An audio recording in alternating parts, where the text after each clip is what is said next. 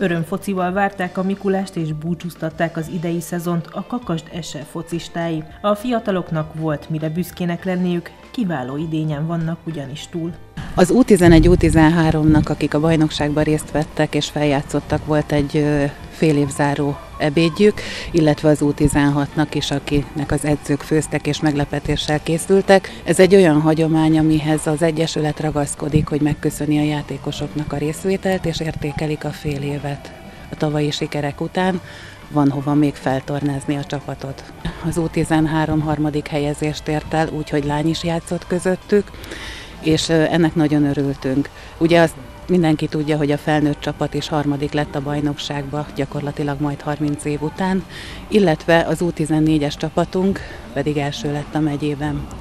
Úgyhogy Kakasd elég szépen vett részt az elmúlt szezonban a fociban. Kakasdon már hagyománya van annak, hogy a srácokat az adventi időszakban személyesen keresi fel a Mikulás, vagy éppenséggel a Grinch a helyi pályán. Sőt, neki abban is nagy szerepe van, hogy a település csapatai egyre jobban szerepelnek a bajnokságokban. Varga Jánosnak amit köszönhetünk, hogy sikerül olyan gyerekeket is bevonzani, akik tartalmasan tudják eltölteni a szabadidőt. Minden évben most már hagyományként tábort is rendezünk, ahol a szülők önként vesznek részt.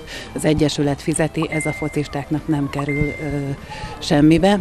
Ezt általában Sötétvölgybe szoktuk megtartani, és strandal zárunk. Ezt a hagyományt Sebestén András a korábbi elnök indította el, és Sebestén Gábor pedig tovább vitte.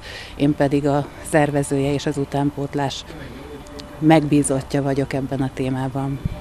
A nagyszakálú megérkezése előtt tehát a fiatalok még sportoltak egyet, dacolva a hűvös időjárással. A testmozgás szüneteiben pedig arra is volt idő, hogy kiki értékelje az idén nyújtott teljesítményét.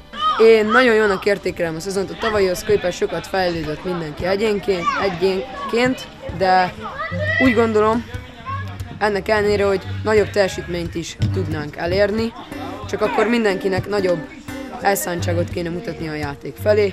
Igaz, én a szezon nagy részében sérült voltam, de én ezt gondolom igazándiból, hogy azért az első hely is benne van, most ugye harmadikak vagyunk, az is szép helyzés, de benne van ebben a szezonban az első hely is.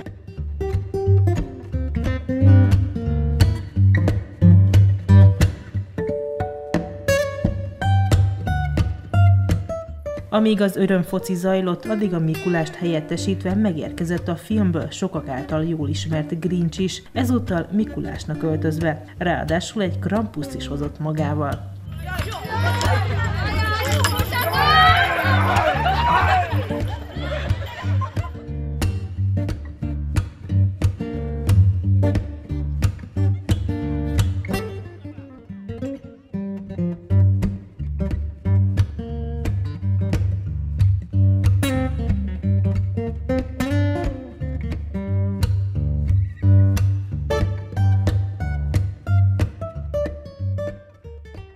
A két mesebeli figura hűen önmagukhoz először természetesen jól megijesztette a gyerekeket, de aztán csak előbújt a vaj szívük, sőt, láss csodát, az eseményre azért a nagyszakálú is benézett, aki ezúttal arra kérte a fiatalokat, hogy a csapat lelkesítőjét énekeljék el neki.